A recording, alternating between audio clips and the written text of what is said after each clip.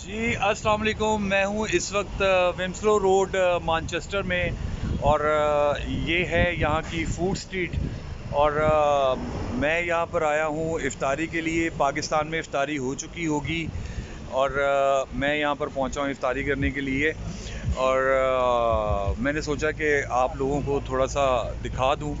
अच्छा इस रोड की ख़ास बात ये है कि यहाँ पर बहुत सारे एशियंस रहते हैं 90 परसेंट एशियंस रहते हैं, जिसमें से 70 परसेंट मुसलमान हैं। और मज़े की बात यह है कि यहाँ पे हर गली के अंदर आपको मस्जिद मिलेगी। और जब यहाँ पर इफ़ारी का टाइम होता है तो लोग इफ़ारी कर रहे होते हैं और इफ़ारी के बाद यूँ लगता है कि हम पाकिस्तान के अंदर ही मौजूद हैं।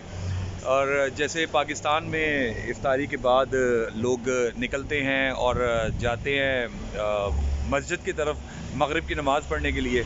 ऐसे ही यहाँ पर रश होता है और लोग मस्जिद की तरफ़ जा रहे होते हैं नमाज़ पढ़ने के लिए। बड़ा अच्छा लगा मुझे यहाँ पर आकर, बड़ी अपनाइत सी महसूस हुई।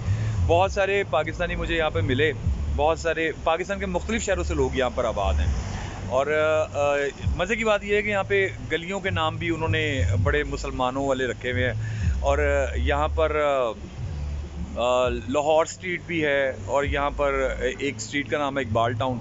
तो बड़ा अच्छा लगा। तो वो फिर जब लोग पढ़ लेते हैं तरावियाँ और सॉरी मगरिब की नमाज़ तो फिर उसके बाद तरावियों के लिए निकलते हैं और बिल्कुल उसी तरह जैसे हमारे पाकिस्तान के अंदर लोग जा रहे होते हैं तरावियाँ पढ़ने के लिए बाप अपने बच्चों के साथ जा रहा होता है और बड़ा अच्छा लगता है और एक त्यौहार सा होता है, एक बड़ा मज़हबी मुबारक महीना है हमारा। कुरान का नज़ूल हुआ था इस महीने में। तो लोग मस्जिद की तरफ़ जा रहे होते हैं तो इसी तरह यहाँ पे भी लोग भाग भाग के मस्जिद की तरफ़ जा रहे होते हैं, जमात खड़ी हो गई है और उसी तरह भाग भाग के जा रहे होते हैं। कोशिश तो मेरी यही होगी कि ईद जो है मैं पाकिस्तान में ही करूँ। लेकिन अगर मैं यहीं रहा तो मुझे लगता है कि ईद को मुझे यहीं पर आना पड़ेगा, ईद की नमाज़ पढ़ने के लिए, क्योंकि यहाँ पर हमारे बहुत सारे पाकिस्तानी हैं। तो मुख्तलिफ़ शहरों के लोग हैं, अपने लोग हैं। तो यहाँ पर बिल्कुल नहीं लग रहा कि मैं पाकिस्तान से बाहर आया हूँ। मानचेस्टर अगर आप आएँ तो यहाँ पर ज़रूर आइएगा और मज़े की बात यह है कि यहाँ पर खाना बड़ा मज़े का है।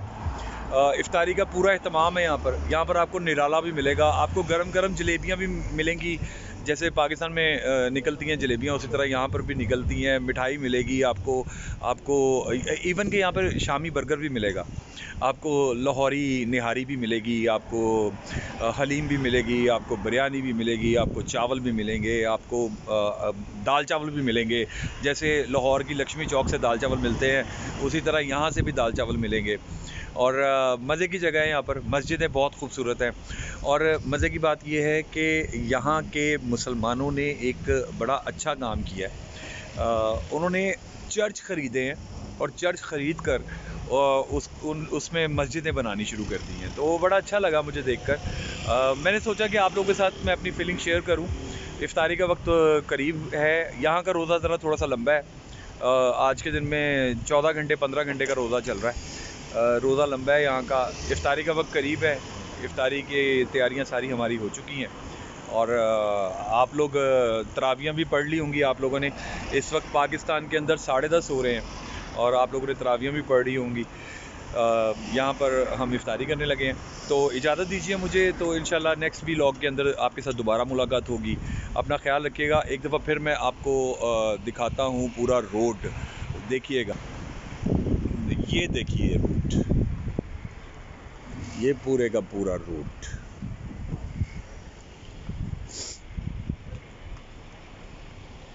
घूम के दिखाता हूँ। और यहाँ पर मुसलमानों की दुकानें बहुत ज़्यादा हैं। और अब जो है जो खाने पीने की दुकानें हैं, वो तो खुली हुई हैं मुसलमानों की, लेकिन जो वैसे शॉप्स हैं मुसलमानों की ज्वेलरी की और कपड़ों की और मुख्तलिफ़ ब्रांड्स भी हैं यहाँ पर, वो सब बंद हो चुके हैं, वो सब लोग इफ्तारी के लिए जा चुके हैं। वो देखें मैं बिल्कुल अलमास ज्वेलर्स के सामने खड़ा हुआ हूँ। लाहौर में एम एम आलम रोड पर इनकी ब्रांच है और मैं उसके सामने खड़ा हुआ हूँ और मुझे यहाँ पर मुसरत रेस्टोरेंट भी मिला। मुझे यहाँ पर निराला भी मिला। सारे, सब, सभी आहिस्ता आहिस्ता मिल रहे हैं मुझे यहाँ पर। तो आप आएँ तो यहाँ ज़रूर विज़िट कीजिएगा। इन नेक्स्ट वीलॉग में मुलाकात होगी। थैंक यू सो मच अल्लाह हाफिज़।